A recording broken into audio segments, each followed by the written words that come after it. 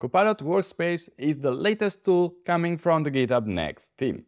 Everything starts from an issue and then Copilot will generate first a specification, then a plan of the files it's gonna change, and last, the implementation with all the files it has to change and the differences. But let's give it a try real time. The entry point for Copilot Workspaces is already the repository homepage. You can find here under the code menu, local, code spaces, and Copilot. From here you can already describe a task, but for now let's go from the issues. I can grab one of the open issues and here I can find an open in workspace button. Here I also added a comment because Copilot Workspace does not only read the text in the issue, but also all the comments in the discussion. But let's give it a try. Now it is spinning Copilot Workspace and it is analyzing the main question of this issue, specifying the current state and the proposed state. I can already read that there isn't any button to mark a question as required, so the proposed state is that each question card has the button I want to add. Now from here I can add more items on the current situation and on the proposed situation, and I can also see that it used as reference 20 files, which are the main files used to implement those components. So this looks quite reasonable at first, and I want to generate the plan. Now it is taking the specification and it generated some of the proposed changes it might want to do. For example, adding the new type as was specified in the issue, adding the toggle button and display the indicator. This is working both on choice and on text. But here it doesn't mention what the button is supposed to do, so let me add it to make sure it works. Use the done stack APIs to update the form state.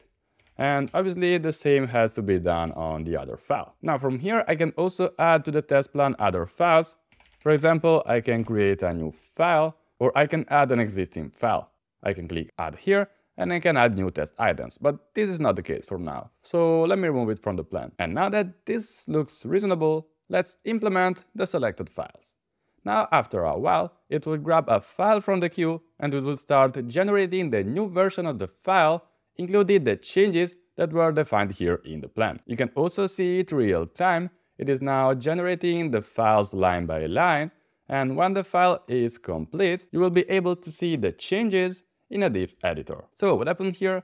We requested that in the survey.ts file, I wanted to add a required boolean field to text question and choice question. And this is exactly what happened, text question and choice question. Now it is also generating the other two files, again line by line, and let's see how it goes. So from here, let me see if I can already spot the changes. Here in the header, I can already see that there's a required or optional text depending on a field. And there it is. Now that I can see the diffs in the file, there's a new form field and this is specifically using the API of the form library I'm using. And here I can see that there's a button setting true or false on the required field. I'm expecting pretty much the same on the other file. So this file didn't have any button, so it added in the imports and also created a proper header with the button that is the same button it created there. Now, if I want to trust the process 100%, I could already create the pull request, but this is not supposed to replace developers, but rather to be an assistant. So before creating the pull request, let me open a code space and test if the feature is actually working. After a couple of seconds, the workspace will be ready and I can finally open it. So now this isn't Copilot Workspace, this is just the usual GitHub code spaces, but I really like how it is integrated smoothly. The developer experience here is really great, you can revise everything, and anyway, while you wait the code space to set up and everything, you're always free to open the File Explorer and review the files manually. But let's go back to the Codespaces instance.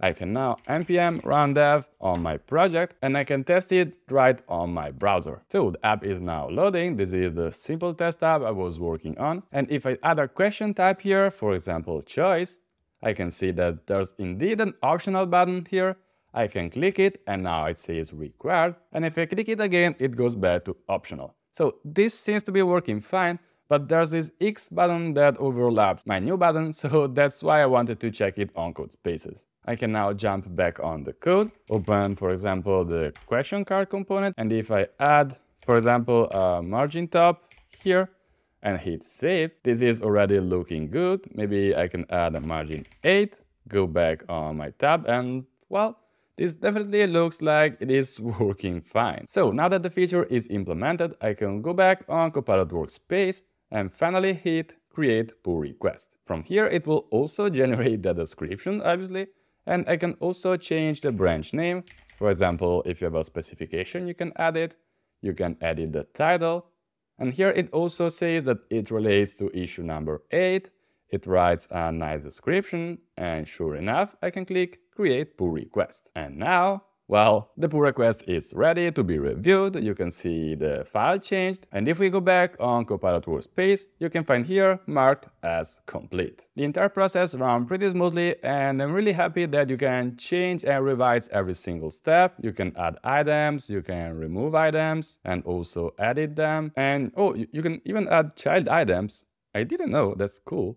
And anyway, coding with an AI assistant is great, but I still think this is kind of pair programming. And being able to edit and revise every single step is what really makes the difference. As you notice, I had a tiny overlapping issue, but with a combination of code spaces, I was able to quickly fix it before creating the pull request. So a huge shout out to the GitHub Next team who keeps delivering those amazing Copilot features, but I'm also curious to hear what do you think about this new tool. So let me know in the comment and let's start the discussion. With that said, I hope you enjoyed this video, thanks for watching and see you in the next one. Bye!